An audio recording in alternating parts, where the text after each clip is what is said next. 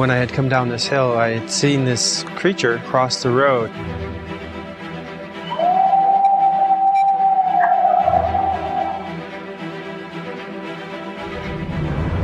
They would have ripped my locked door from my truck, extracted me from my vehicle, and there wouldn't have been a damn thing I could have done about it.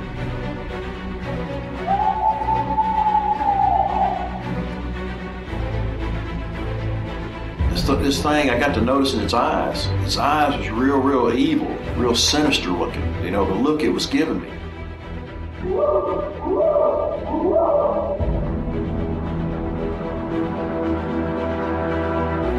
911, what are you reporting? Jesus Christ, you better. Sure. Zia, Hello?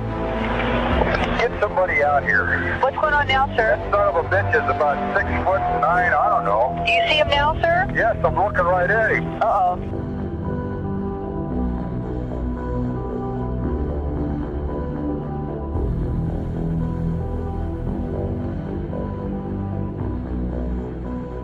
I got a frantic call from a past guest who was kind of involved in, I think, a government cover up. A person had disappeared and they claimed it was a bear, a bear attack. They're refusing to release a body to the, to the family. And he was well aware of the situation. It was where he had an encounter and he, make a long story short, these two guys show up at his house to talk to him. And I've heard this over and over and over again for about the last year and a half. It's kind of an interesting story. These two guys that tend to show up, they don't show up when you have an encounter, but they tend to show up when, uh, if a person claims to shoot one or if a situation where a person disappeared. And about a year and a half ago, I heard this story about these two guys showing up and they're always, they always present themselves the same way they never really say what government organization they're with, or, you know, what federal branch of the government they're with. But one guy is always in a suit or he's well dressed and he's generally the polite mm-hmm. guy. He's the good cop. The other guy that shows up with the, the one that's nicely dressed and that's polite, he looks more like Grizzly Adams. He's, he's described as kind of a bigger guy, usually has a beard, people have told me he kind of looks like a Hell's Angels, and he's he's just a complete dick. And so they play this good cop bad cop routine. The t- type of verbiage that they tend to use a lot is it would be in your best interest if you know, and then insert the quote, you saw a bear or you shot a bear or and I've heard this over and over and over again uh, over the last year and a half, and I never really gave it much. I never gave it its due credit. But it struck me. I got this frantic call on Saturday night, uh, last Saturday. The guest that called me said, "Hey, Wes, these two guys came to my house. They're still parked out front, um, in an unmarked vehicle. It was a Crown Victoria." Uh, at the time, uh, is what he said it was in front of his home. But and I and as he started describing them, I said, "Well, is one guy kind of dressed nice, and is the other guy kind of look more rough? Does he look kind of like a Hell's Angel?" And they play the good cop bad cop routine. And there was like this 30 second pause on the phone. And he said, "How do you know that?" And so, I, I mean, what's your take, Will? I I mean, I I never gave this stuff much. Well, I you know I didn't either when we we talked about this before, but I've been getting the same information from uh, several different witnesses also. And you're right. It's when there's a fairly serious situation going on. It's not just a run of the mill sighting. It's uh, when there's, you know, human life is in danger or, or something along those lines. And these guys show up and they tell people, don't talk about it. That's not what you saw. So it's, it's definitely uh, and in one, and I know a couple of cases they were identified as, uh, or at least identified themselves as, uh, Department of the Interior. And I think wasn't that from the guest that you were talking about? Yeah, that's what he said. He said they eventually identified themselves as being from the Department of the Interior. You know, I contacted our friend Mr. Black after you and I talked about this, and he says, uh, yeah, absolutely. They, they send these people out. Now, I don't know about the specific people. I haven't asked him about that yet, but he said that yes, they will send them out. I don't know exactly why yet. Maybe they're, you know, trying to eliminate those threats or or whatever. But uh, it is something that goes on. It's very serious, and uh, we probably know of what about a half a dozen different uh, witnesses that have been approached that way by these same two people, or at least people that look like these, you know, the same character. I was just wondering if these people have been, especially the one that gave you the frantic call, Wes. I mean, are these people intimidated enough by the actions of these two people to go, yeah, I'm not ever going to talk about this again? I mean, is there an impression of that?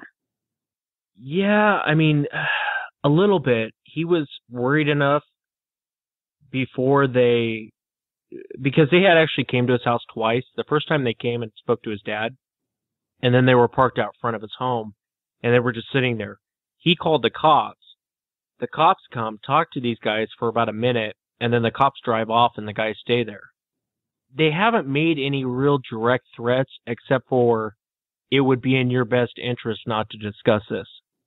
You know, since this is fairly new coming out, people who have had direct threats probably haven't come forward yet and expressed that. That's true. One encounter that I can think of where there was a direct threat, um, this guy had claimed to have shot one, and I think out in Virginia, and that's how he describes them. And that's the first time I ever heard it. And then I heard the same story over and over again, but I heard it firsthand from people.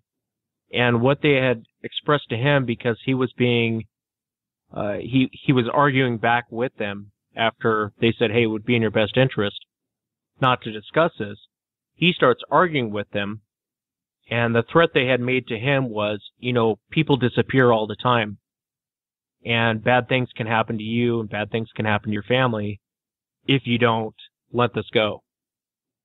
Yeah, I'd say from what I've heard, that's that's pretty accurate. So it makes you wonder. It makes you wonder who they are, what their what their agenda is, and what they're trying to accomplish by it's not really like men in black type stuff. Um, these guys are just it's just odd. It's just a real odd encounter with these guys. Yeah, I get the sense that it's not it's not really a cover up situation. Maybe it's more of a, a way of masking whatever it is they're trying to accomplish. Yeah, I was talking with J.C. Johnson about it, and I'd, I'd asked him if he had ever heard that before. He said he'd heard things like that before, and he had he assumed that they were from the forestry department, but I don't think they're from the forestry mm-hmm. department. Especially after Saturday night when this kid's calling the cops, cops come out, and after a minute the cops leave and the guys stay there, you know, almost like they're above the law. Do you ever wonder? I mean, with you and Woody's encounter, it it's a, it's not your typical Bigfoot encounter, and now you have this show and it's very popular and you have a lot of listeners. Do you think that because you do have this platform that that's the only reason that you haven't been visited yet? Well, we can tell you one thing. We know they listen to the show. We've gotten that from a couple of different sources. Actually, that our show was mentioned in the in the yeah. conversation. Specifically. I, I think that these guys go out to do this whole good cop, bad cop routine. Like mm-hmm. Will was saying before, when something specific, it has to be an incident to where either A, people have come up missing and they have to deal with it, or B, someone claims to have shot one and is talking too much. I think situations like that, these guys tend to show up. I, I mean, I don't think they're going to show up at my front door. Uh, if they do, I'd love to talk to them. Yeah, I, I don't think it's necessarily a bad intentions they have. Maybe it's just the way it comes across. Well, do you guys have anything else before going to the website? I was just going to say if anybody else out there has had this kind of encounter to, to contact us, we'd love to hear about it. Yeah, and we'll, we will, uh, we'll protect your identity too if you come forward and talk about it. We'll definitely protect your identity. But yeah, if anyone out there has had something like that happen, please contact us. I know we were shooting for November 1st for the website to go live, and we ran into a couple of issues. Well, the web developers have run into a couple of issues, but they're working them out. And so the website will be live most likely around the 17th. but we're going to shoot for a launch date just to be completely on the safe side for December 1st. And a lot of people have asked us about the website, asked us, what is it that you guys are going to do? What would I get for the extra paid content? We're still working on adding more than what we're just going to talk about tonight. As a current listener of the show, right now you get about an hour, hour and a half uh, shows. We do a show every week. And what we're going to do for the, and you'll continue to get that. We're not going to take the show away from anyone. We're going to increase the show's format. So we're going to move to a two hour format. Uh, right now you're getting an hour show a week. Sometimes we do an hour and a half, but generally it runs about an hour show per week. And what we're going to do for the paid content is there's going to be an additional hour long broadcast. So there'll be a total of two hours. Um, that second hour will be part of the paid content. And then we're also going to be doing a midweek show. So as a listener, people have asked us for more shows per week, and this will give us the opportunity to create more content. Again, we're not going to take the show away from from people. We're just adding more to it. And so by creating the membership, there's going to be about 75% more content per week that you, the listener, will have access to. So December 1st, this thing will go live.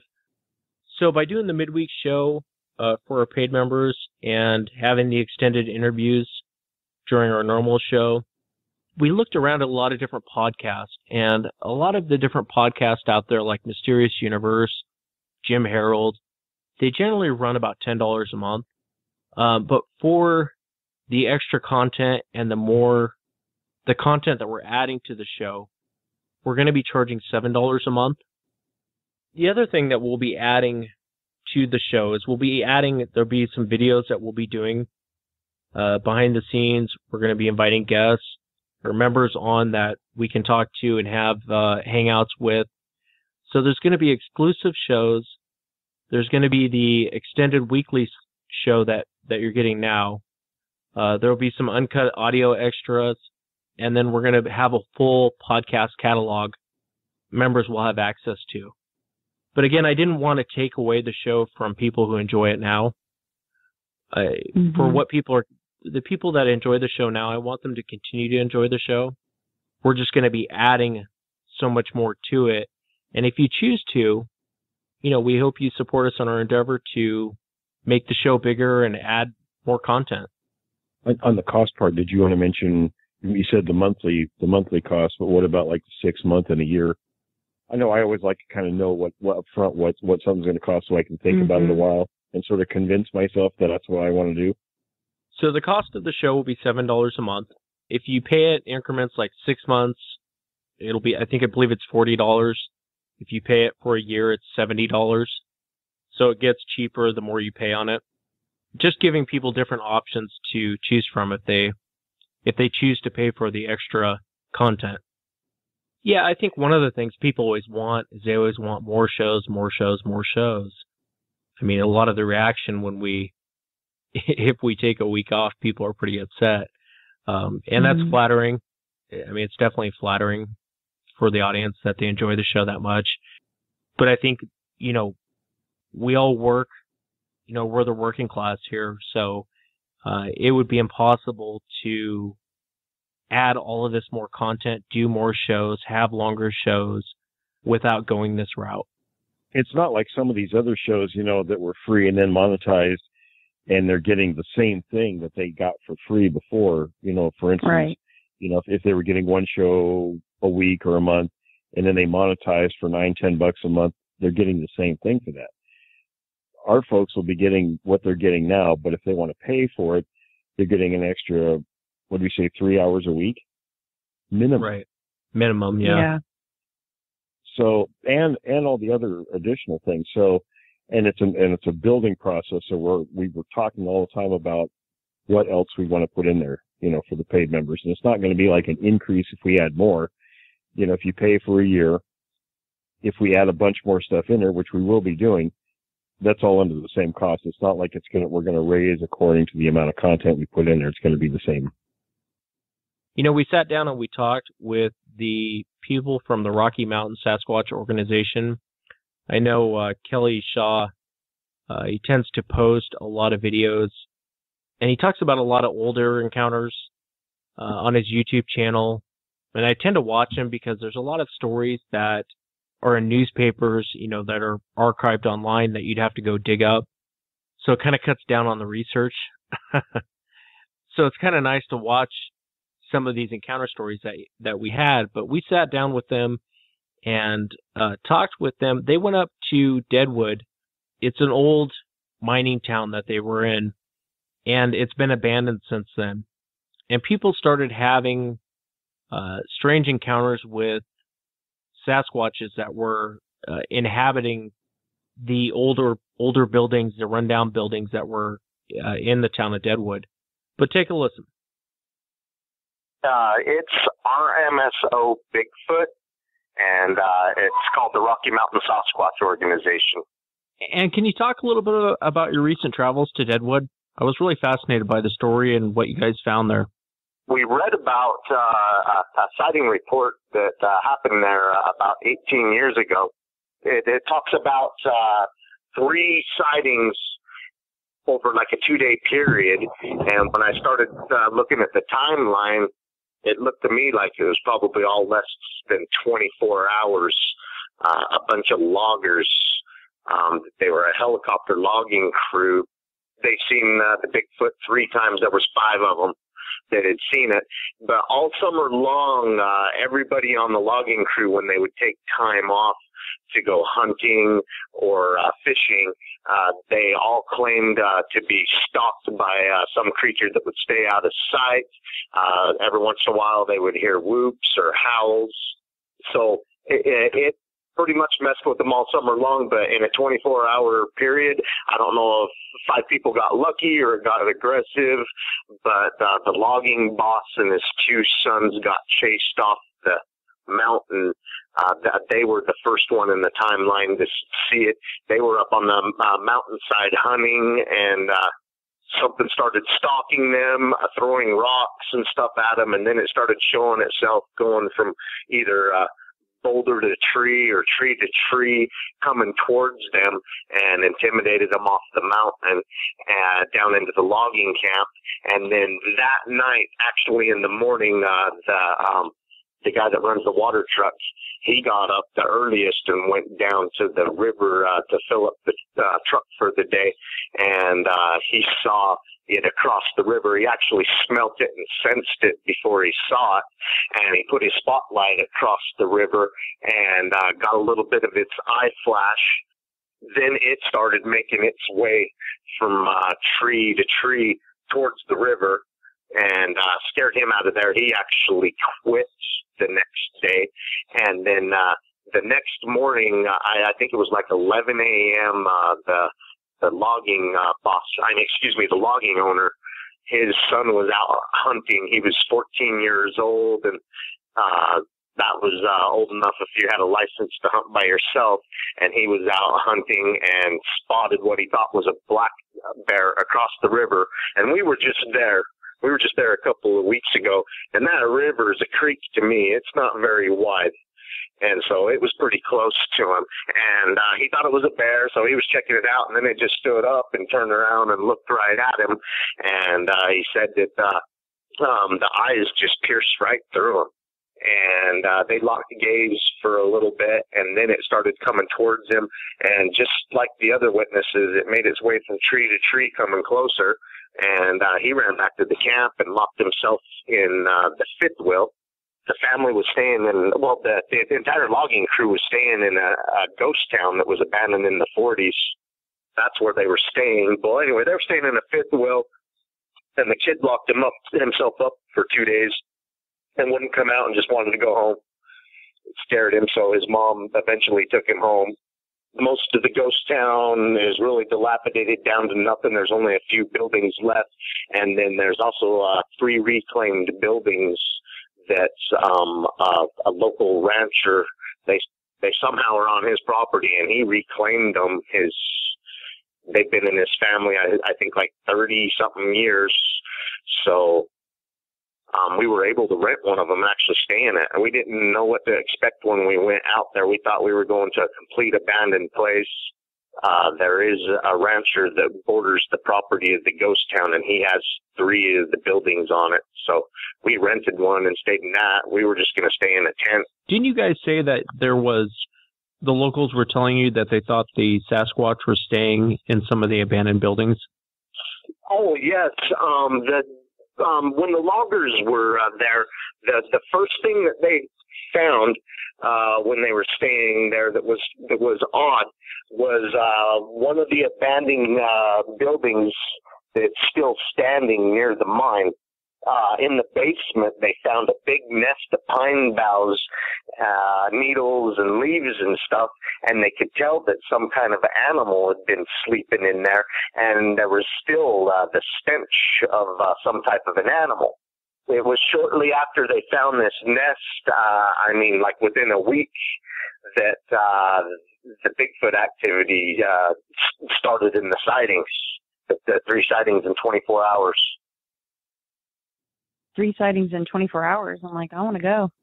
I was kind of curious about the movement. He, he mentioned a couple times from tree to tree. I, I was wondering what he meant by that. I mean, was it hiding behind the tree, or maybe that was just his impression of the thing walking towards the witness that way? When I originally talked with him, he was saying it was going from tree to tree, like it would stop and take cover, look, and then come towards him again, stop. Kind of odd behavior. Yeah. It is odd behavior, yeah. Well, I know on the final clip that we have with the Rocky Mountain Sasquatch organization, Derek talked about his encounter. It's happened uh, back uh, summer, like I think July of '81.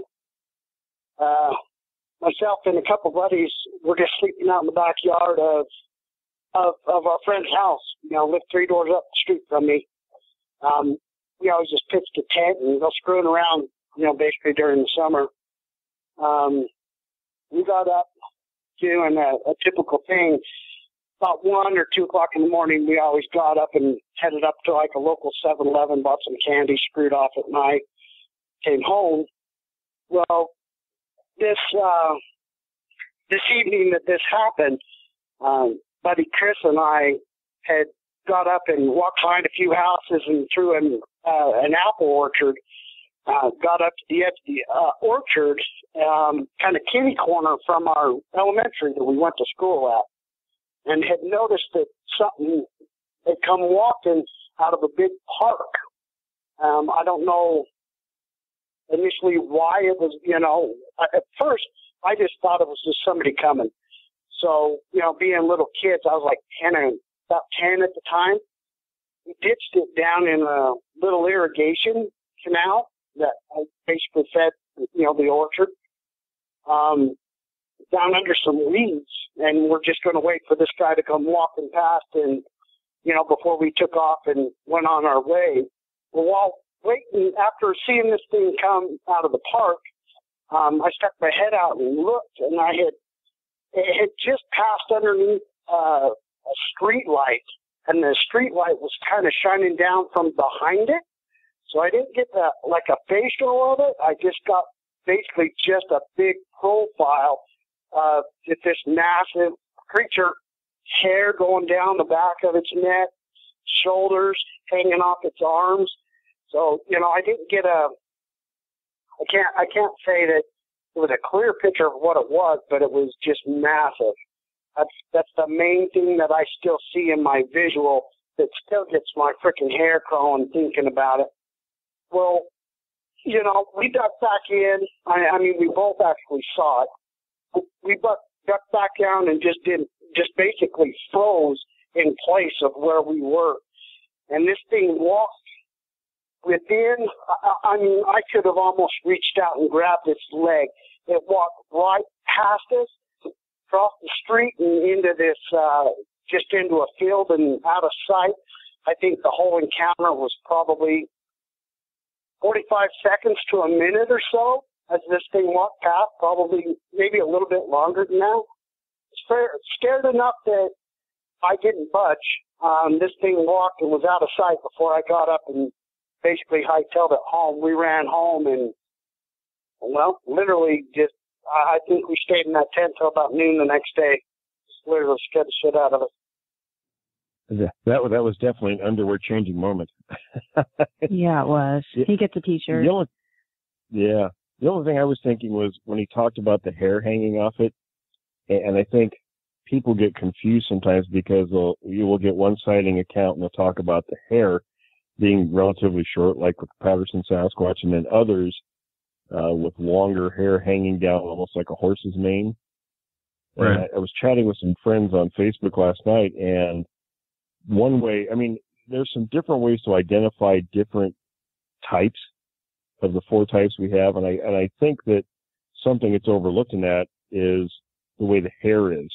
You know, where some have, uh, like with the Patterson Sasquatch, you know, the, the face is largely covered with hair, and with the Type Twos, it's a lot less. There's not not the same mustache, you know, beard and things like that. It's more of a uh, flesh face, but you know, and with those longer uh, pieces of hair hanging down off the arms and shoulders. So that was an interesting observation. Yeah, it was. And I want to thank Kelly, Jenny, and Derek from the Rocky Mountain Sasquatch organization for coming on the show and sharing some of their stories with us. You know what I was thinking for next week Hmm. is maybe we if we did a midweek show hmm where we had people call in or we took more calls. Generally we don't take a lot of calls, but Mhm. maybe if we did like a Wednesday night show and had guests come on and then allowed people to call in and share their encounters. That would be cool. I think it's a good idea. Well, if you'd like to call into the show next week, uh, we'll probably do the call in show probably Wednesday. Uh, or does Thursday work better for you, Will? Either day is fine.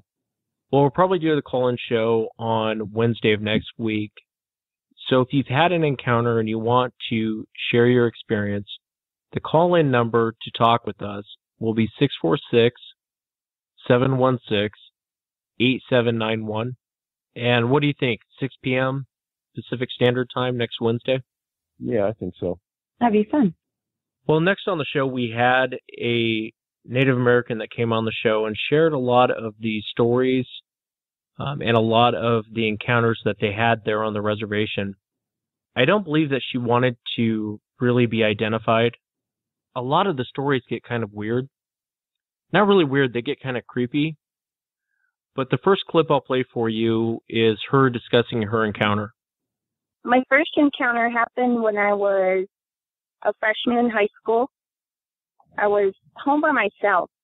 Um, we actually lived um, outside of a town, about four miles outside of a town, and it was a really rural area um, at the time. Now there's a lot of houses around, but at that time it was just our house, maybe another one on our side of the road. Um, and we didn't have any phones.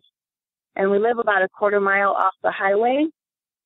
However, behind our house is, is there's a valley and there's a creek that um, meanders down there.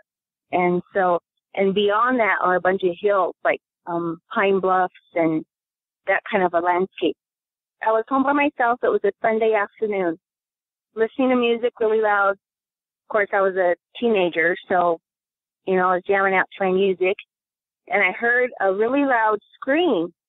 I didn't connect it with anything. Uh, I was wondering what what that was, what was what made that noise. And sometimes our washer down in the basement used to squeal when we were doing the laundry. So I kind of assumed it was our washer. And when I think back on it now, the sound didn't come from the basement, it came from outside. But I didn't, I wasn't really aware of that at the time. At this point in time, this would have been back in the late 80s. They were having a lot of sightings around the area where I was living. A lot of people in the community knew about it, and even the local law enforcement was involved from time to time in the sightings. So there was a lot of activity at that point. I had a grandfather who lived about six miles down the road from me. At that time, it was just myself, my mother, and my younger brother and sister who were like four and two. So my grandfather, he would always ask me if we were fine, if we were doing okay, because he told me that he could hear that the Bigfoot making noises, yelling around and growling down where he lived along the creek bed there. Um, he lived along the creek and he could hear it at night. So he was concerned about us. So I told him we were fine because we, we lived up top. We didn't live on the bottom where the creek was. Uh, my mom worked for a part of the law enforcement. So we, we weren't really concerned at that time. So it's kind of a backstory. So that afternoon I heard the, I heard the yell, the yell scream thing. Uh, didn't think nothing of it. So it's about, I would say about four and it's in the fall and where we are, it's up in the northern country and this, you know, the days are really short in the fall. So I was going to go out and ride my bike. I went along the edge, like we live on a flat, so then it goes down into the valley. So it's kind of, kind of along the edge there. And we had two dogs and they were blue heeler crosses. They were really good dogs and they were with me and before we got to the edge there, they were playing. We were just, I was just riding my bike along. There was an old dirt road, so I was riding my bike. I noticed that they had stopped and they were on either side of me. They stopped playing and it got really still. Like it was, it was kind of a breeze, but it was really still. The whole feeling of the afternoon changed. Uh, it, it's hard to explain, but I was standing on the edge and down below, there's about maybe an acre where, well, about acre and a half where there was a, a pasture where there were horses. And so there's a fence line that kind of ran down where the acre was. But see, there was fence line on two sides of the acre and then the creek kind of made the boundary of the other two sides. So I'm looking down there and the dogs are standing on each side of me and they kind of have, they're doing this weird, like a low growl, you know, like a deep, a deep growl. It wasn't really loud though, but they were standing there doing that. So I was like, what are they looking at? So I looked down into the pasture and there's a bunch of horses. But I noticed that the horses are all grouped together towards the northwest side and they were all in one group, and that was kind of weird. And um, I could see their tails kind of blowing in the breeze on the more southern, southeastern corner closest to me. I would say it was about three or four hundred yards from me was this big, tall figure. And this thing was huge. And it was faced towards the creek. I I wasn't registering what I was looking at. And I was standing there thinking, what is that? I didn't see the tail blowing in the wind like the other horses, but I could see long, the long shaggy fur blowing. And um, I got a really sick feeling in my stomach because it dawned on me what I was looking at. So was the creature on all fours? No, no, no, no. It was standing upright. This thing okay. was tall, and when I was looking at it, and I was, I was, I guess I was in disbelief. And I was looking at the other horses, and this thing was like three times as tall as those horses. I mean, it was, it was huge way down there, and uh, I couldn't imagine how big it would be if we were on a level ground, um, because I was standing above it, and I was watching until I got the distinct feeling that it was going to turn and look at me. I just had that feeling that it was going to see me. And I, I dropped my bike, I dropped everything, and I ran back to my house. And I, I was maybe about a hundred yards from my house. And the dog stayed right beside me the whole way. And I ran in the house and I, I, I don't know. I was freaking out. I didn't know if that thing had seen me, if it was going to follow me up, you know, up the hill. That thing was huge. Where was I going to go? Um, so that was that was my first encounter.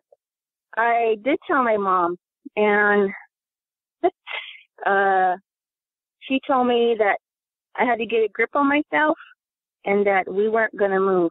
She wasn't going to move because of that thing. So So she did. She didn't believe you though. yeah, she believed me. She knew she knew about it.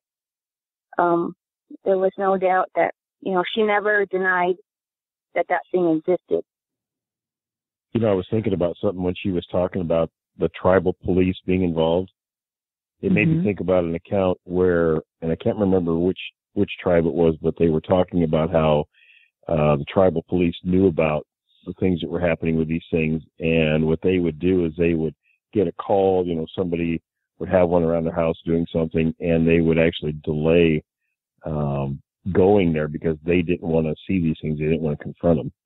I thought it was interesting her mom's reaction to the whole thing. Wasn't surprised.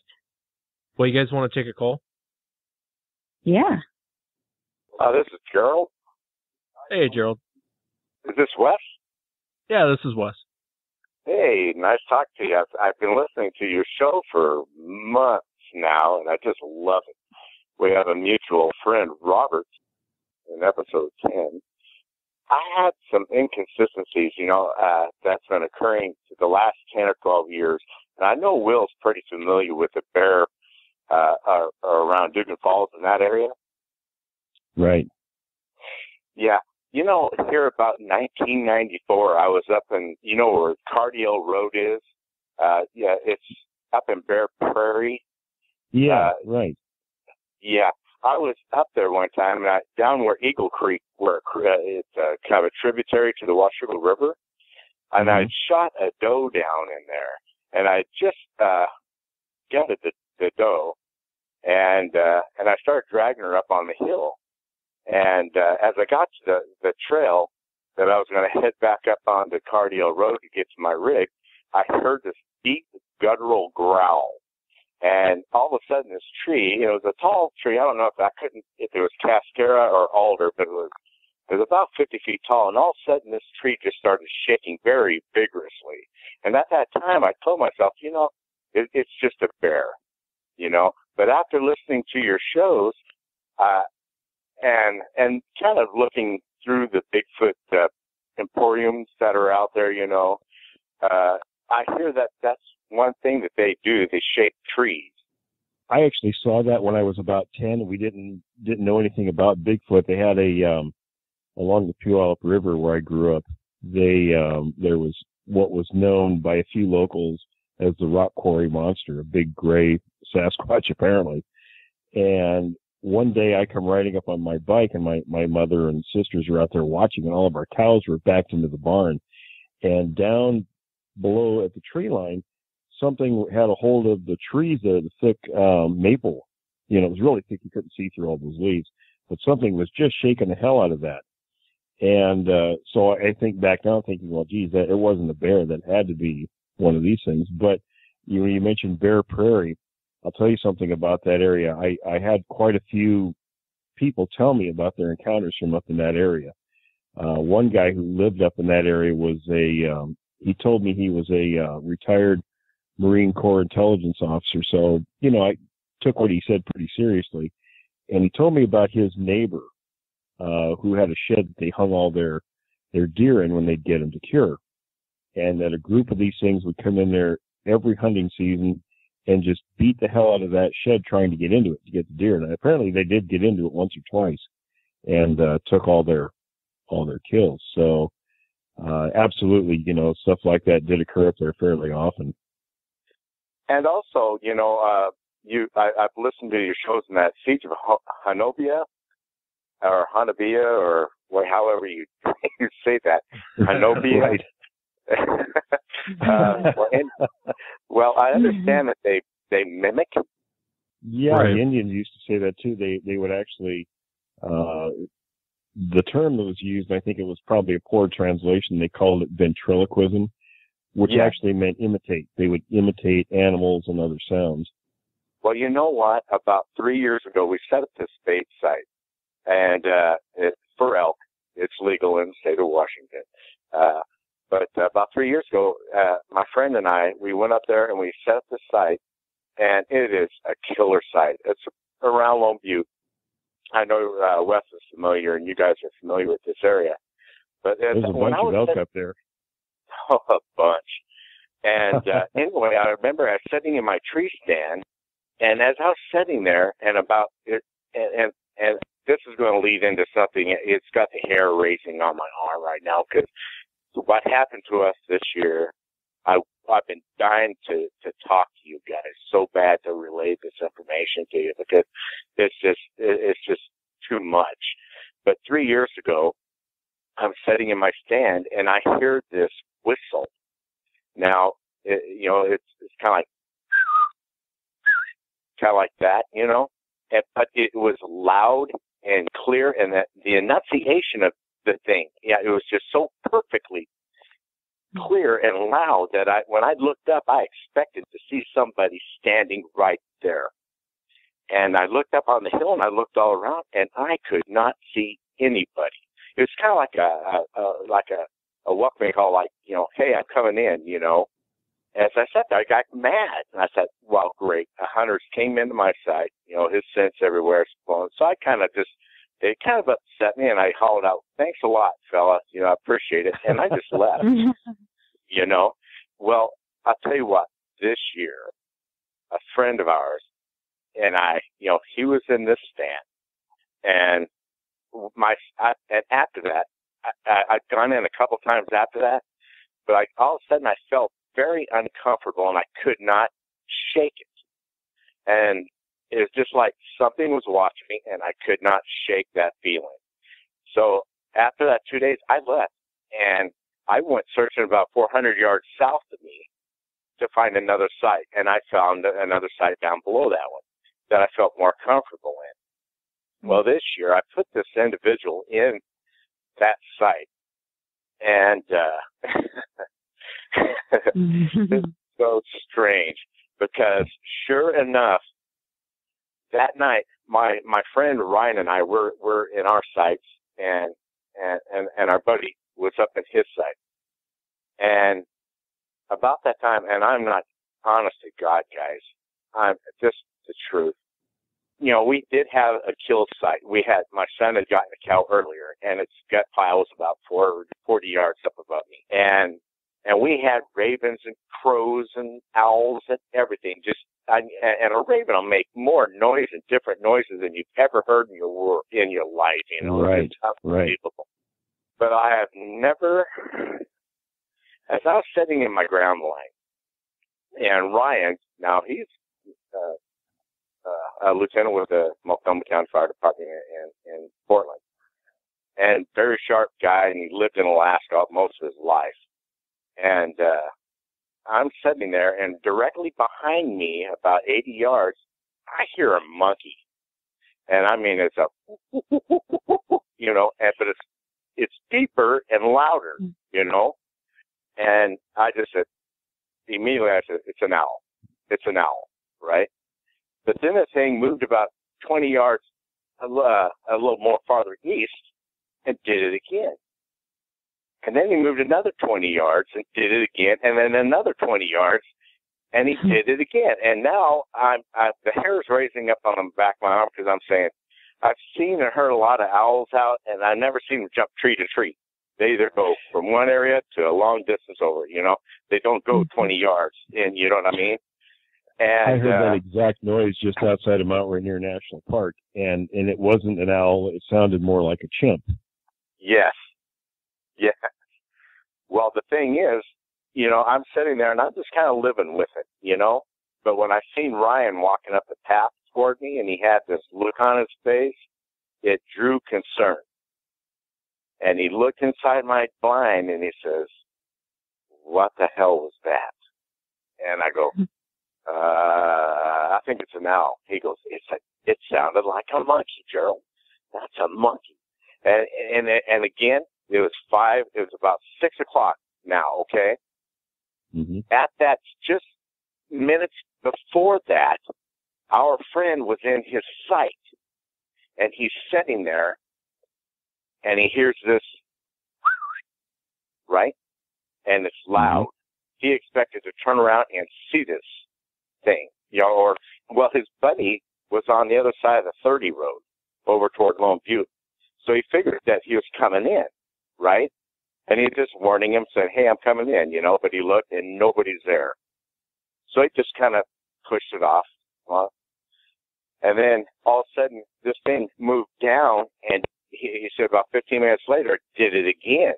And then he looked around and go, he expected to see somebody standing there because it's so doggone loud and perfect, you know?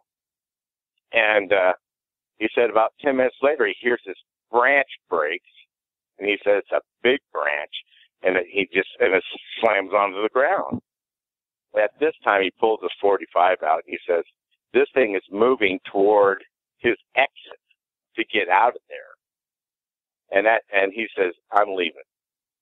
Now, by the time he left that site and got to the road and went down to the trucks, that's when the monkey started. By the time he got down there, it's probably been 10 minutes.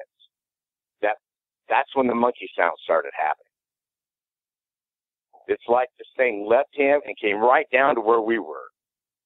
And I and I tell you what, it, it is just driving me nuts trying to yeah, figure this thing out because I go up there, you know, I start my bait site in May, you know, and I never go up by myself unless if I do, I take my dog.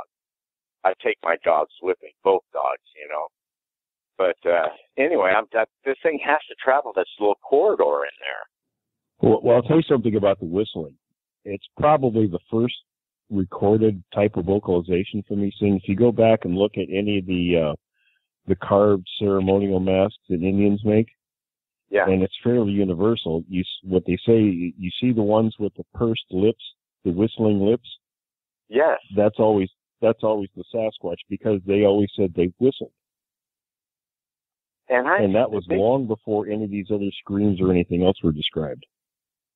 This and, and also on the on the I noticed, you know, uh, our friend sent me some pictures that you had sent him about these tree breaks, how they they they twist them. Right, right. Well, right, right. At I mean, from where I park and where I walk down uh, the Skidder Trail, when the Skidder Trail ends and it goes up to this, uh, which you know, uh, uh, a game trail, and I follow that in my sight. Right there, I've got the picture of. I took a picture of it, and it broken and twisted and so if I'm you can send that to me, I'd like to see it.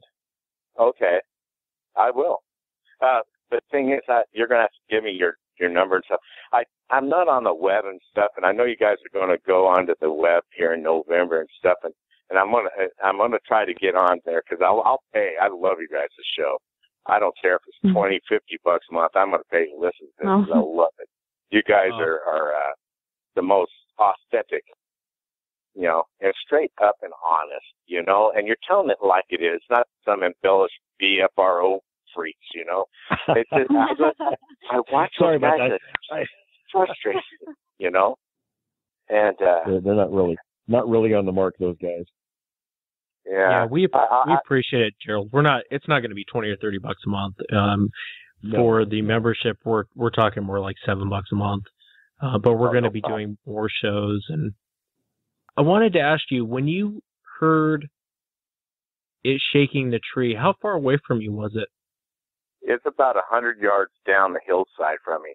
There's enough brush where I couldn't see the base of it if it was there, but I could see half the tree and then, you know, the other 50 feet up, up above it. And this thing was shaking vigorously. Yeah. And, and Gerald, that uncomfortable feeling didn't leave you until you left the area, correct? Correct. Correct. And, you know, I was sitting there talking to my buddy about this. I said, you know what? Why does he saying, you know, if, if this is a Sasquatch, he knows me, he knows uh, my friend, you know, Mm-hmm. and he knows us. And maybe he's coming in saying, all right, I know they hunt at night. It's getting dark, fellas. You've hunted all damn day. Now it's my turn. You know, And more than likely, there was more than one there that's because what I'm when the one afraid of. whistled, right, Yeah. when they were whistling, that's a signal to another one, Oh, is that right? Right? And they may have been coming in to take your game. And I believe that. We've got trail cameras up, but they've never, I've never seen one in there. I've got bear and cougar and I've got, you know, and elk and deer, but I've never had, you know, but we're setting, was talking to uh, a friend of my, my neighbor, uh, Jeff, he's a wildlife biologist for the state of Washington. And he told me, he says, Get, put up some DNA traps. And I go, well, how's that? And He goes, go up to a tree, put some barbed wire around it. He said, hopefully they'll lose some hair for you. I said, well, that's a thought. so we're going to be doing that. We're going to set up our own little investigation and we're going to be going up there setting up trail cameras because I think this thing is coming up this one skidder road that's above our site and it's coming up on top and dropping down on us. That's the way I think. And he's coming from the Lone Butte area. Yeah, they're going to be coming down from a high area where they're sleeping to the low areas to hunt. Yeah. Usually right around right around dusk, and then early for right around daylight they head back up. And here's something that's I you know what for what it's worth, our friend Mr. Black told me that they uh they see the IR from the uh trail cams. That's why trail cams don't work because they see them and avoid them. But yeah, I you know I've always wondered about that. You know, you think you know uh I have uh infrared and I have the flash.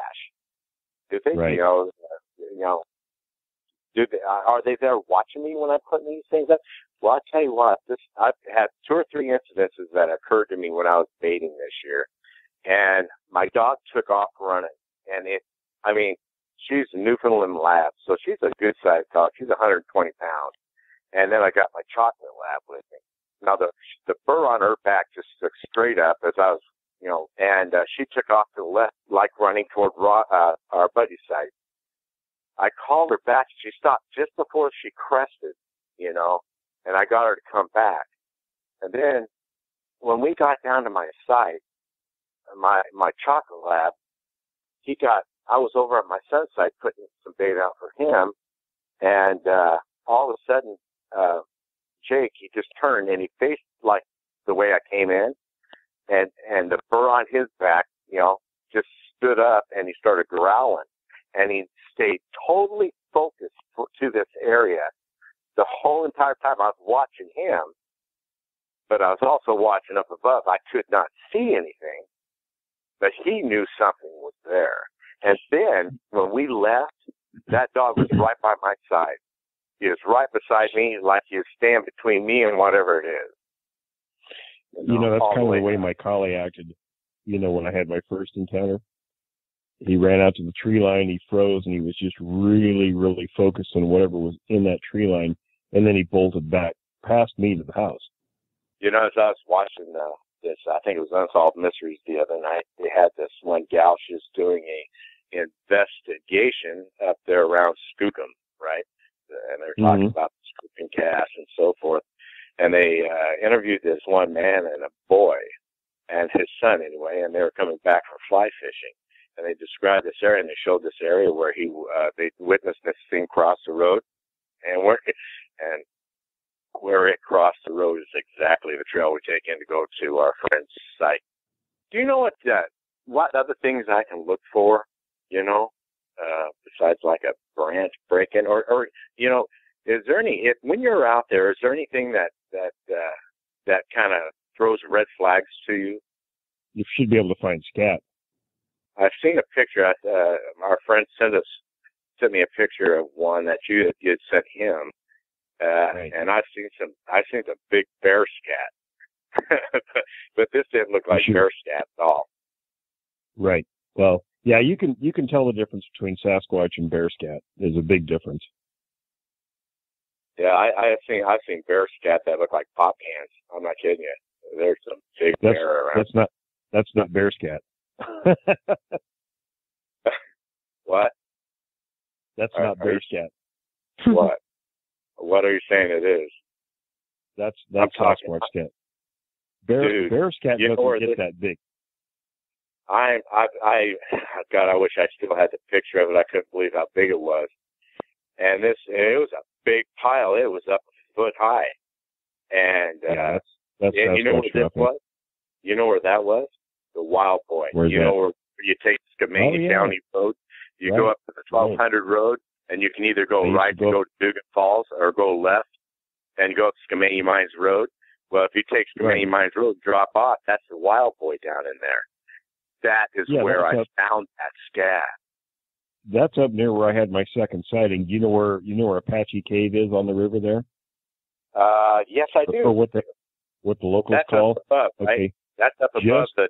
Uh, right?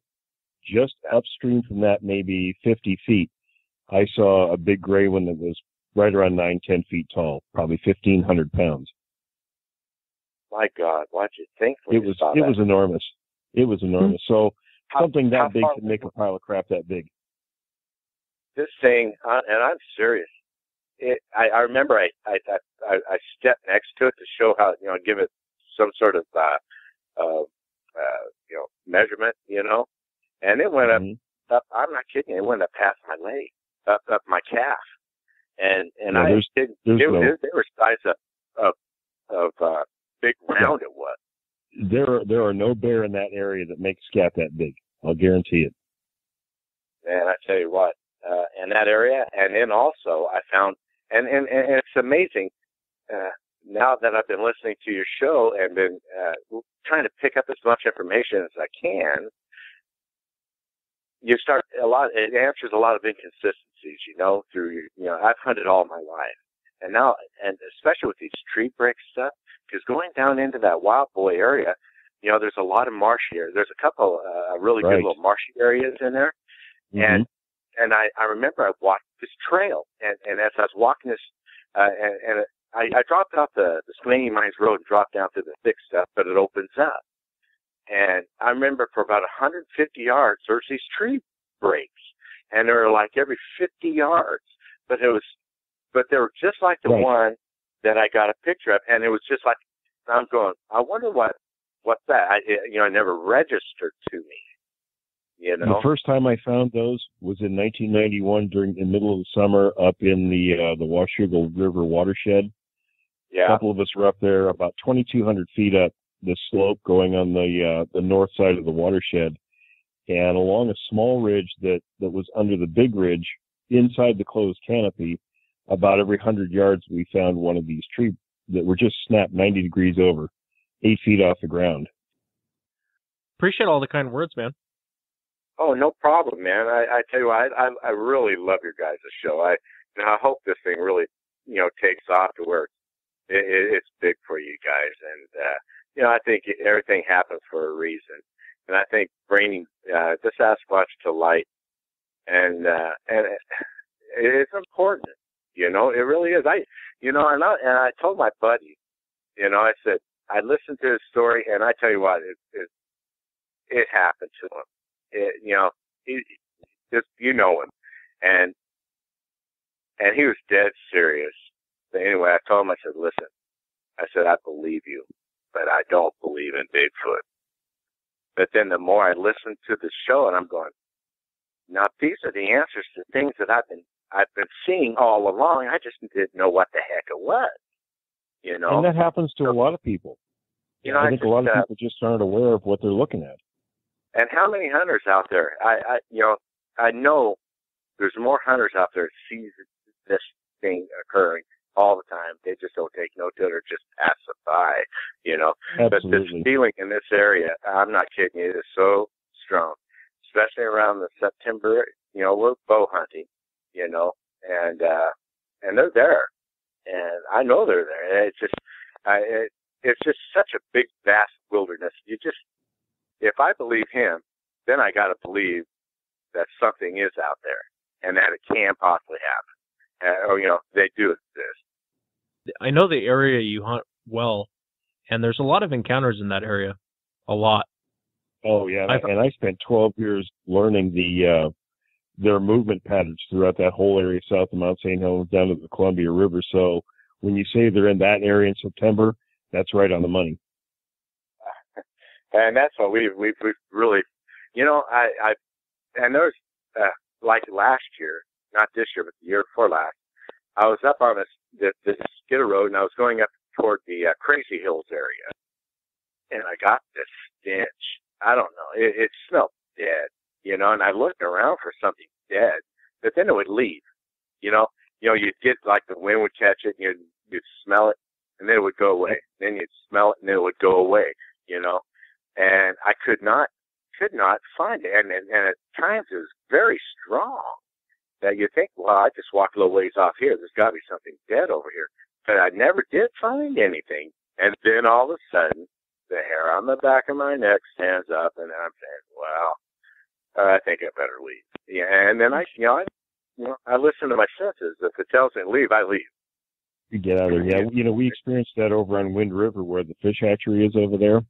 Yes, I do. Uh, we we walked right into a wall of stink that made us almost throw up, and we walked out of it. Mm. And when we came back, it was gone. Yep. And Yep. I found a spot where there was moss, and the moss was flattened down, but there was, you know, there were no discernible tracks or anything. But you know, obviously something had pressed that moss down. It was raining, and you know how it is. I mean, there's an explanation for it. What it is, I don't know exactly what it was, but I'd never smelled anything like that before or since. About four years ago, I was walking up the 32 road and I was going to go up into the meadows. And as I got about a mile from the gate, uh, I I came across uh, a really good elk track. I mean, you know, a, a, a trail, a game trail. And it dropped down into the tall timber and it went down toward Meadow Creek. And I thought, man, that looks like a pretty good area to follow. So I walked down in there. And when I got down into the tall timber, here we go again. I got, I'm getting goosebumps now. Because you got the big, you got the big timber that's down, and you have ferns that are eight feet tall. They're just huge, and it's like going into Mhm. mm historic days, you know, going in there. Right. And then I get about 200 yards in there, and, and you know what? That's when I first saw this this twist branch. I get this twist branch, you know, the, uh, like a, a tree that's been twisted and broke, you know, Right. and I I noticed that there. And I started to take a couple more steps, and all of a sudden that hair on the back of my neck stand up, and I came to a complete stop, and I couldn't. And it was almost like, like I was in a panic for some reason, and I did not know why. And I'm going, why am I Mhm. feeling this way? You know. So, and but you know, I, I, you know, I always told my buddy, hey, I'm the meanest thing in the woods because man, I carry a gun. If there's something out there, it ain't going to sneak up on me, right? But there's something that was watching me there. So then I just backpedaled and left. And then a couple of days later, a couple of guys that were camping down the road from us, they had gone in the same area and they heard uh, some, uh, uh, they stopped by the camp and were talking to us. And of course, I kind of laughed them off, you know, but they, but they went in that same area and he, and they found the tree breaks and something growled at him. It was a deep guttural growl in that area, right Mhm. by Creek. And uh, and they were serious. But I said, "I was just a bear. Don't worry about it," you know. But uh, in the back of my mind, I'm going, "Good God, I was there," you know, by Oh, yeah. myself. And I don't hunt by myself anymore. I, you know, after listening to your show, I do not hunt by myself. Somebody's got to be with us, you know. Yeah, I, I never go out alone. Now, It's just not. one- It's not safe. I, I, I know you said that. I mean, these animals are, or I, I, I guess he's an animal. You know, uh, they're big, but I would think that uh, if you was to have to shoot one of these animals in self, for you know, self defense, I would imagine if something came across in front of me and stopped and blocked my way, wouldn't you take that as a threat? Oh yeah. And wouldn't you react in a manner as to defend yourself? You know, uh, and I always carry a 40 with me, and I and of course I've heard you guys talk saying, well, maybe a 30 aught six would be like a 22 to these things, but you know, you know, they still have an anatomy, and they're big, Sure. and and you know, you can drop a an elk, you know, which is five six hundred pounds, easy with a bow or you know, a gun, but Mhm. I would think, you know, it- you know, shooting something like that, you know, I think in the in the chest or something with a forty would be stupid. I don't think it would do it. You know, Yeah, you'd have to get it. You'd have to get the right shot. that that that's why I would think, you know, you know, I've been I was in law enforcement for about five or six years, and going through the training and SWAT training and so forth, and and they describe different points of uh, where you'd want to shoot somebody to just to stop them dead outright, and I would think in the mouth, you know, because you're going to cut the the the. Uh, I don't know how their their neck. You always say they don't have a neck, right? Well, the he- the head sits down onto the shoulders, kind of like a gorilla. So then, if you was to shoot something like that, would you get the spinal cord? You know what I mean, like a human, I would say, brain. yeah, I'd say if you were behind it, and that's something John Green and Rene Dahinden used to say many years ago was to go for a spinal shot if it was going away. I think if I were in that sort of situation, I might go for an eye shot uh, Right. because then you might hit the brain. If you did a mouth shot, well, you might be buying yourself some time to get away in a case like that. Yeah, because that's the only thing I here's the worry about. Here's the other consideration: if you shoot one, where is his buddies? and that's what I worry about, you know. Uh, and I and, and it's like you said, you know, when he's, you know, if he's whistling, maybe he's he is signaling another one, you know. Right. And maybe Right. the other, maybe he just stayed there the whole time. His buddy came down to where we were. I don't know, Exactly. Yeah, it's hard telling. but this all happened with it. You know that that that circumstance, that uh, that, that the situation that occurred to, this year, it all happened within like a 15 minute period of time. You know, where it happened to him, uh, my buddy, and then it happened to us. You know, so it was traveling down, and it and it had to know where our sights were. You know. Oh, sure.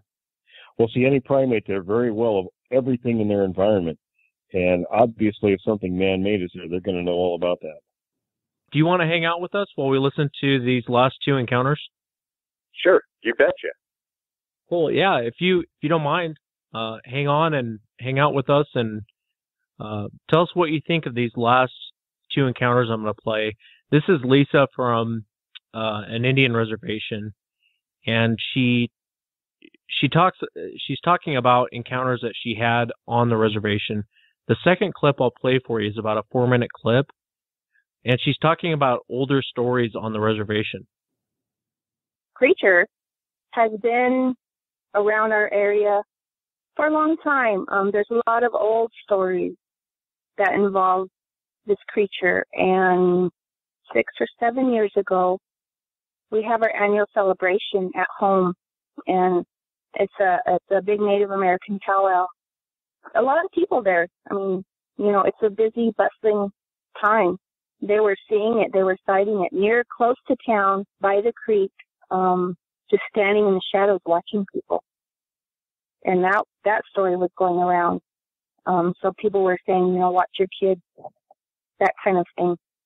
When I was a young girl, I would say six, seven years old, we went to a celebration in North Dakota.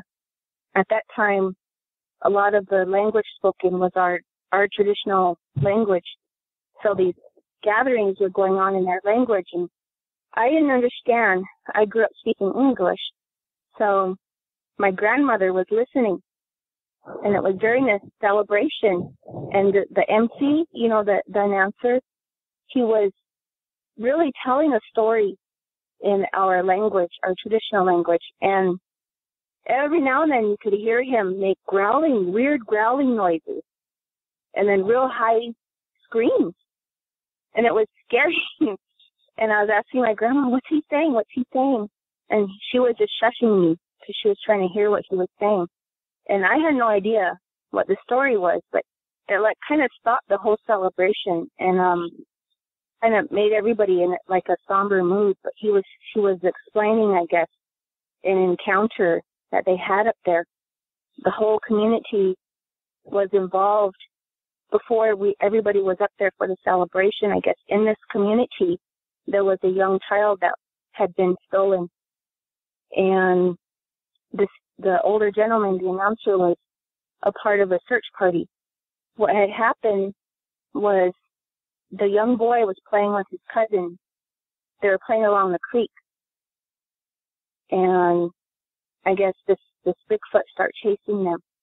All the other little cousins, the kids, made it back to the house, but it got the the boy. It got the little boy. So um, the kids went and told their families, and they got a search party out for this young boy. And this happened over a span of few days where they were looking for this child. And he was explaining how these things they run together in groups. He said that the announcer was saying this that it can mimic a person's um, the way a person sounds. It can mimic a person's voice. That it really likes the sound of children playing. That's what attracts it around. And it can disappear really fast and that it really likes bonfires. For whatever reason, it likes fire and it'll start their own bonfires and they'll gather around that thing, around the bonfire. They never did find the young child, but they looked for it and looked, looked for him and looked for those things for a long time. And it just led him on wild goose chases. And, um, it would try and lure the, the, the men who were searching, it would try and, and single them out and lure them away before they realized, you know, what was happening. There are stories that they tell us, you know, don't be out um, past sundown because, you know, those things like to hear kids laughing. Kids laughing and playing kind of brings it around, I guess. There's stories of it from way back, way long time ago. So it, it's not a new phenomenon for, for our people. And I'm going to play this last part. It's a two minute clip but it's the police who had an encounter with the Sasquatch when it was called out to a home. And I'd like everyone's feedback on what they their take on the situation. And Gerald, for, feel free to chime in and tell us what you think. But take a look. Okay. I have another story from a cousin of mine who was a police officer on a neighboring reservation and they had a call they had a frantic 911 from a lady who said there was a Bigfoot um, harassing them, and they lived in a trailer. So him and his a colleague, two units went out to that trailer. As the first unit got there, um, it turned on a, a, a you know a spotlight, and they shined it on the front the front of the trailer there where the front door was, and that Bigfoot was like sitting on the porch and banging on their house. The the cop freaked out and he he couldn't believe what he was seeing, and so that Bigfoot stood up and went to walk towards the unit. So the cop thought he put it in reverse to you know reverse out of there, and here he accidentally put the car in neutral. So the engine made a big sound, you know, when it revved, and that kind of right. freaked out the Bigfoot. So the Bigfoot stopped and then just at that point, I guess my cousin rolls up in his um, unit and he sees it. Now these units have those dash cams on it. It was recorded on their dash cam. As my cousin pulled up in his unit and had his lights on it, it ran off into, um, I guess there was a creek area as well near that trailer. So they interviewed the family and I guess it just came and it was begging on the house growling at them, shaking the trailer because it was just, you know, one of those single wide trailers. So um, the family was terrified and they couldn't figure out why it had done that um, just out of the blue. We asked my cousin about, you know, the dash cam, if they had it recorded. And he said they did. They seen the um, recording. So my cousin said after his shift that uh, the next morning when he came in, he was going to get the recording from his unit. That next morning, you know, he got off work. When he went back in the next morning, um, the recording of that disappeared out of both their units. Cover up. This is a cover up. It's a cover up. You know, when you have indisputable evidence like that, and all of a sudden it just disappears, it disappears for a reason and that's just yeah, you know, and that's the that's probably our probably our two guys we were talking about earlier. Right. You know, uh, and it's just like you know when you talk about uh, Mr. Black, you know, and and, and I I get the economics, you know, about keeping something like this a secret or something, you know, and, and trying to keep it as a folklore type of thing or a myth, but there's just too much evidence out there, you know, right now, I mean, and your show is bringing it out, you know, and it's the truth, and that's what I love about your show, and uh, uh, it, it's phenomenal. Uh, you know, I, I it's the best best thing I've I've, I've got. To, you know, I, I listen to you on my telephone if I if I because my iPad died on me. So, I listen I, I listen to all your your uh, your uh, your episodes on my phone, and uh, But yeah, this is, you know why they want to cover something like this up. I you know it's just besides me. That's because it, I, I believe now that it is true. And, and the main reason I wanted to call this evening is, is to get information from you guys, and, and because I love hunting and I don't want to give it up, and I'm not going to. And if I do see something like that, do I just continue? Just should I ignore it and continue to just do what I'm doing? Well, I think as long as it's not stalking you and trying to trying to eat you, you're probably okay. If it just hangs in the area, you know, I don't mind Yeah, it hanging no in the area. Yeah, if there's no real interaction, I wouldn't worry too much about it. I spent a lot of time in that area, and and I never really, at least not to my knowledge, had one uh, trying to do anything to you know my buddies and I when we were up there. my buddy Reggie, and he was telling me a couple of years ago, him, they were up off the 65 road going up toward Thomas Lake. They were at the crossroad, and he dropped his son off, and he was going to walk this ridge line. Reggie, uh, Reggie drove down about a mile, and then he cut up on the hill. And he stood there, and he looked at his compass and said, you know, he, he took the north direction, the south, and so forth. And he started heading up uh, this hill. And so he got up there quite a ways, and he checked his compass again, and it said south, and he was traveling north. So he turned around and he said, okay, this got to be going north. So he started going north. He checked his compass a little later and it said he was going south again. So it was just, he was getting, I, I think the lava up there has a, something to do with compasses or something. Right, they'll throw compasses off in that whole region. About that time, he thought, well, you know, it's kind of getting late and I don't want to get lost. So he started heading back. When he came back down, and we were talking about this last night, he came across these tracks. And he says, Gerald, these things were 18 inches long.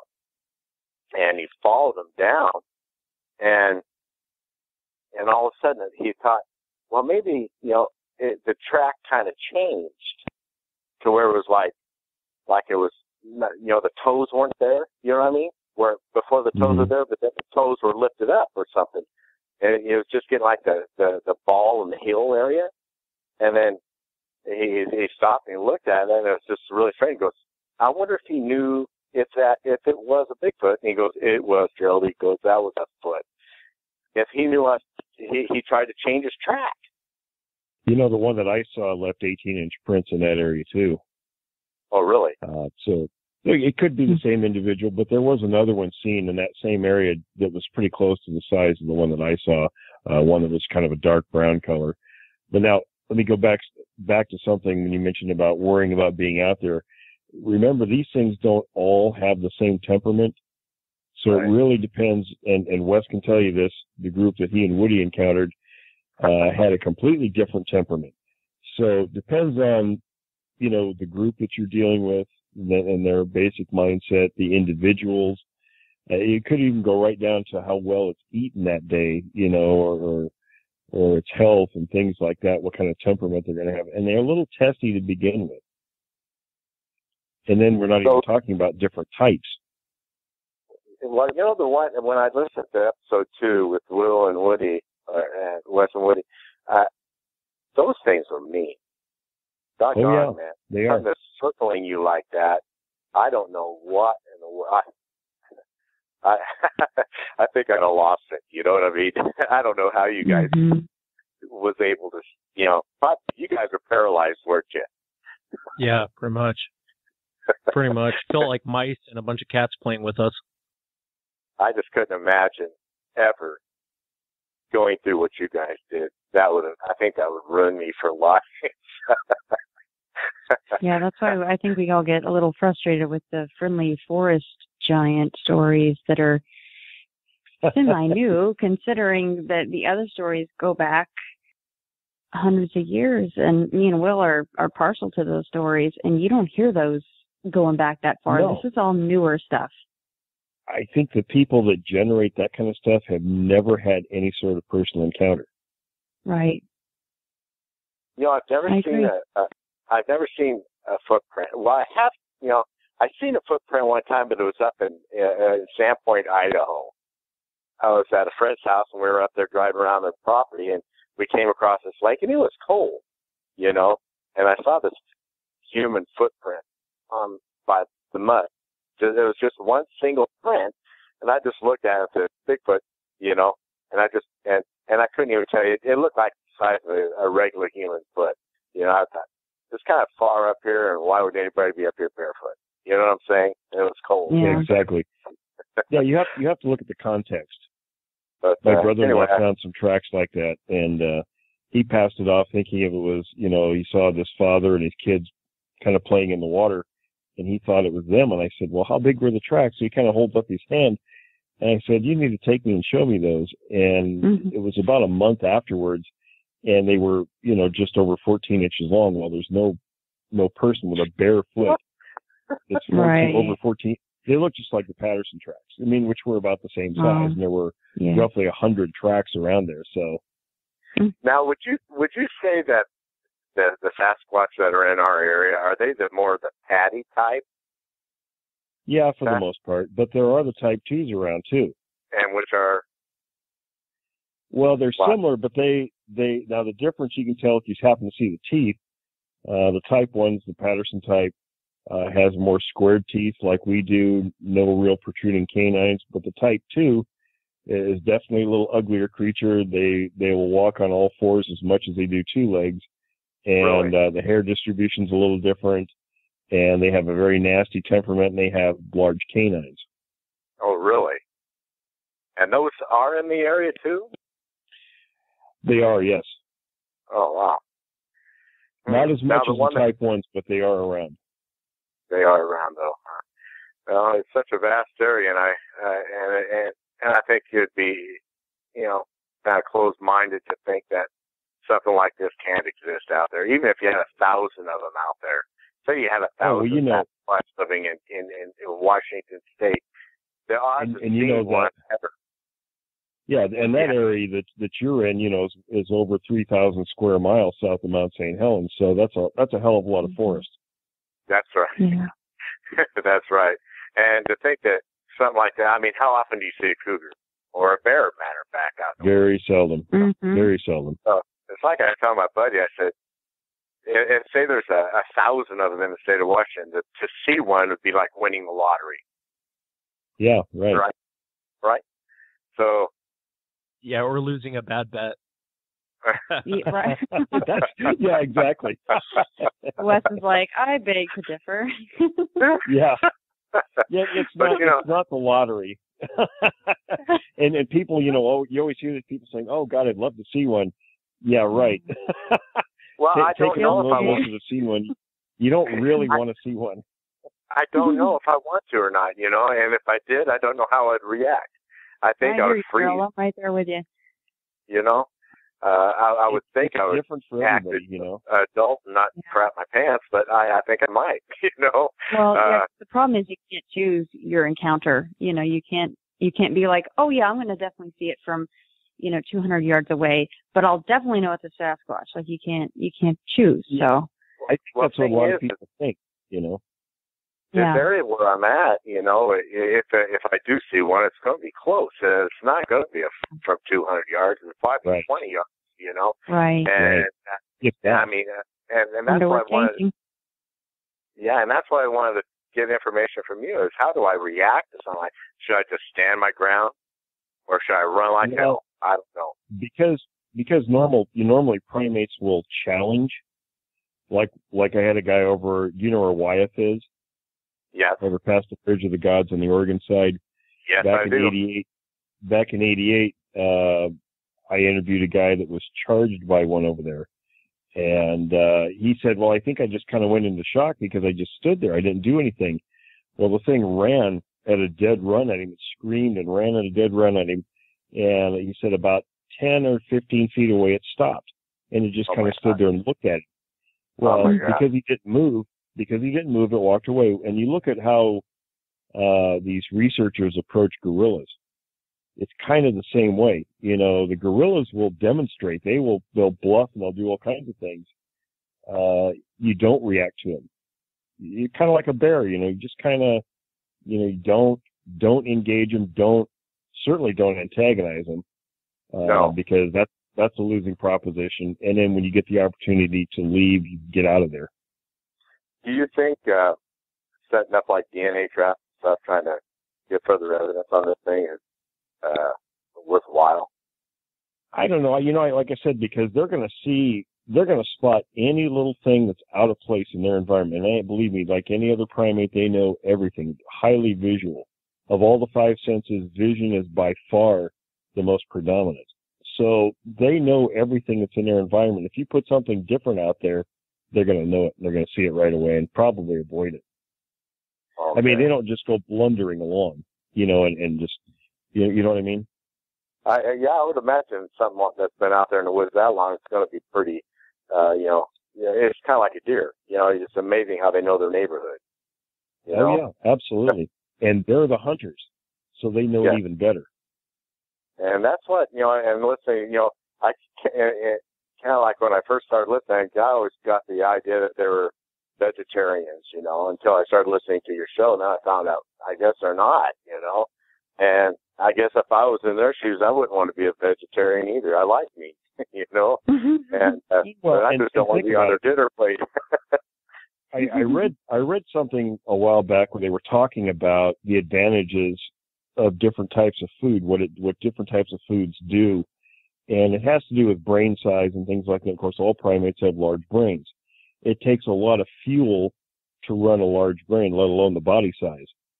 So you have to eat just a ton more vegetation compared to a small amount of meat to get the same energy output from that. So something that doesn't, especially in the Northwest where, you know, food might be, you know, few and far between, you have to maximize how much energy, you know, and they're ambush predators. So considering body size and, and all the mechanics involved, uh, it's, it's much more desirable, like a big cat does, to lay in wait for a game to come by. Then you use a quick burst of energy uh, to get that prey, then you maximize what you're getting out of it. So they hunt generally um, either far apart or alone or in coordinated efforts. You know, if they're gonna gonna get more game. That's where I started finding droppings. I was in an area. I have an area called I call area number four. It's kind of my favorite because I go in there in the month of July and August, which is the only time of year you see sign of them in there. And in a 35 square mile area, I can find up to 50 piles of their feces. I mean, they're eating well, they crap everywhere. So I went down to a creek area and we didn't see any feces there whatsoever. And I thought, well, this is kind of strange because it was everywhere else. And I started thinking, well, if I'm something this big and want to maximize my energy intake, but minimize the energy output, how would I do that? And I started looking inside the tree line near a game trail, and lo and behold, here are these dozens of piles of crap in there. They were hiding, waiting for deer to come by. oh my goodness. So, you know, it just requires a little bit of common sense and, and brain power to figure out what they're doing and where they are. Yeah, there's one trick that I always use for elk, you know, and I always, when I do my bait site, I, I take a shirt, one of my shirts, and I, I put it about 30 yards away, and I leave it there the whole time. So they start equating my, my, my scent with the food. So they know, then they hear my truck when I hit the lock, you know, and, and, and, and it goes into alarm, you know, it gives that honk.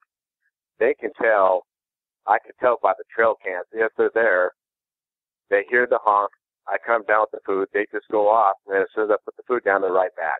So they're equating my scent with the food. And I'm wondering, by doing that, if they're if a if a Sasquatch is around, they smell my scent, they know me, right? Actually, I think they, I don't have that great a sense of smell. I mean, they, they do smell because, you know, when you get out in the wild yourself hunting, after you're out there a while, your senses, your senses become a little sharper.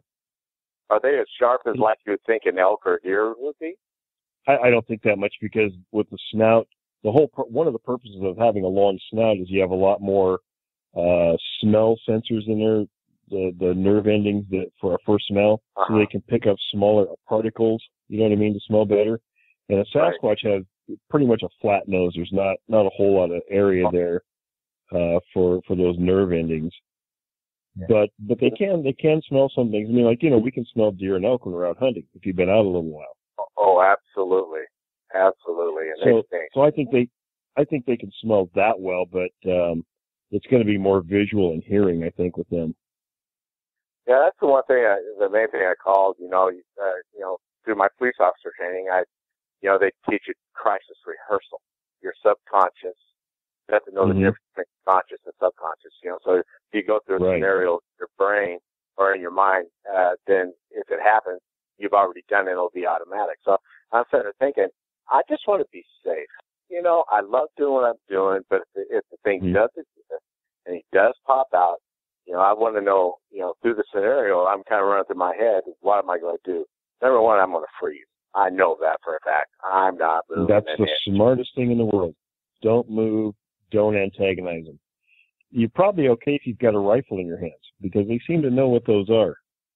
When I first encountered two of them at 16, I had a 22 rifle in my hands. Thank God, because I was only about you know 10 to 15 feet away from them, and I shot in the air. That's when the second one came around. But um, I, I think it was just enough where they knew what the threat was. I didn't move. I did stare, you know, at the the first one, and uh, you know, when the second one came around, I took off running. But uh, you know, they didn't follow me. I think it Yeah. was because I had a rifle in my hands, and I didn't do anything that could have been taken as a um, an aggressive act back. Right. that's what primates do.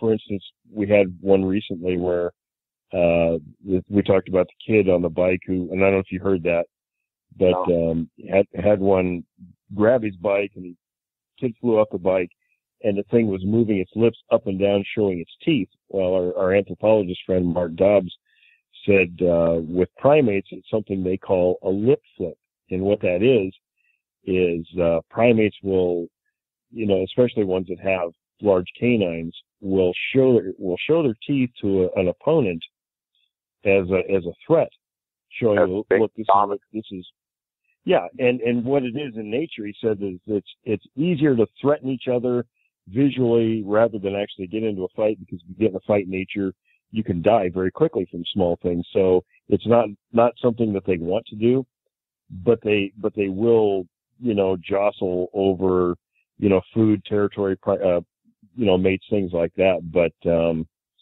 uh, so they'll do that display, and I think a lot of times when a Sasquatch is you know thrashing trees at a person or whatever it is they're doing, that's a display. That's a way you know they make themselves look bigger like they need to, and badder uh, as a way of saying, hey, this is my area, stay the hell out, or if you're a threat, I'm worse, this is what's going to happen to you, and so on. So your best bet's just to stay still and don't do anything. the area that I hunt, it, it, you know, like I said, if I do see something like this thing, this thing is going to be 20 yards from me, you know, if not closer. And so basically, I don't have a chance in heck, you know, Right. if this thing, if this thing uh, moves as fast as it does, you know, what it's gonna, everything's gonna happen very, very fast. Yeah, I think a lot of people don't realize how thick the foliage is out in Washington State. You know, out here in the Northwest. If you come across one, I, you know, I would try and back out of the area before an interaction happens. But uh, you're right. I mean, by the time you have, by the time you come upon it, you're going to be closer than you probably really want to be um, at the time. I would just be safe and just try and back out as as Yeah. back out quickly. Just try and back what out. Wes yeah. what Wes and Woody did was really a, a good case for that. You know, I, I don't think they they didn't realize really what was going on, and but didn't feel like they could do anything, so they didn't do anything. I, I, I guess that's kind of kind of simplifying it, but you know, you Mhm. sort of freeze in those situations and you don't know how to react. So, in some ways, that's a built-in protection.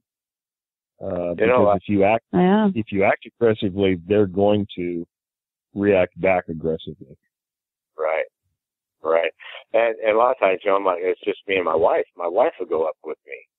And, you know, if, you know, if something happens, you know, I'm, I'm going to protect her.